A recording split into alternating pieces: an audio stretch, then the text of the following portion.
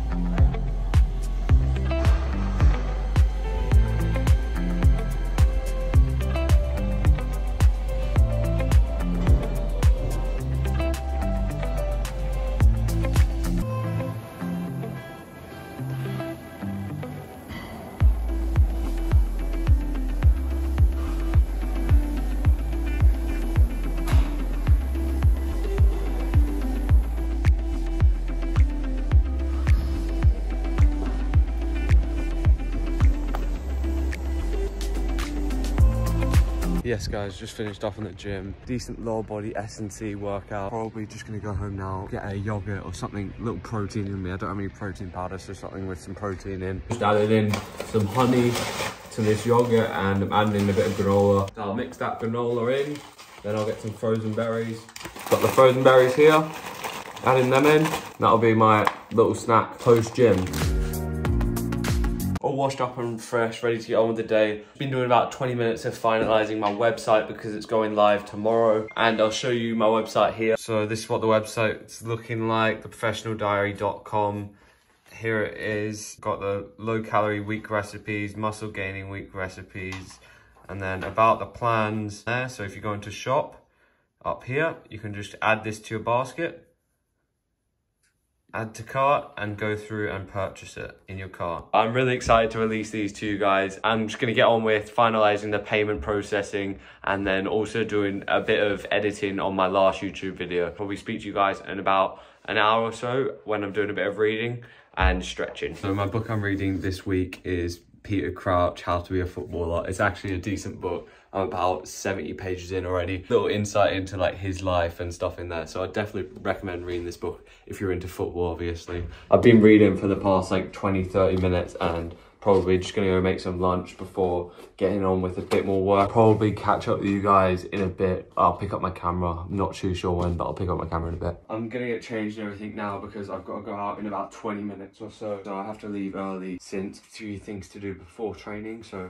I'm just gonna get ready now. So as I was saying, got a lot done this morning and been quite productive. Went to the gym, got a lot of work done, finalised my website and done some reading. I actually have started my new job, so I thought I'd let you guys know. I'm working currently on a Sunday for about eight hours. I did actually speak about this in the Q&A. I'm working at a hotel just in the bar back home. I've just finished training. I can't lie, I forgot to film when I was at the training ground. I filmed a little bit of just my boots, but that was it. So training was all right. We just did set pieces um, because we have an FA Youth Cup game next Thursday. Just gonna go inside, probably make a bit of dinner. Sorry I didn't really film a lot of training. There's not a lot I could have filmed anyway, just me walking into the training ground because they don't do VO on the training, so I can't really show you any training or anything. But I actually forgot to mention as well that my international clearance finally came through. I can now finally play league games and FA Youth Cup on Thursday. Stay tuned for the match day in the life of FA Youth Cup. We're versing London Lions. So tonight I've got a chicken here. I'm going to be eating that whole thing.